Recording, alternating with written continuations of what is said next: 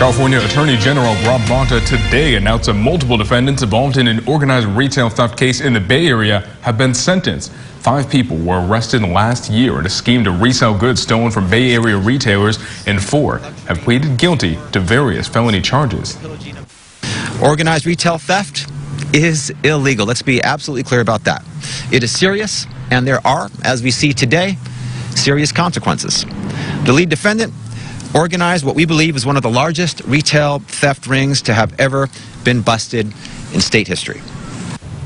The lead defendant, Danny Louie Drago, is scheduled to be sentenced to six years in state prison early next year.